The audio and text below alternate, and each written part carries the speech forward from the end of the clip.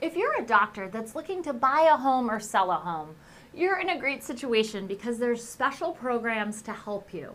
My name is Keri Shull, and my team and I sell hundreds of homes in the DMV area.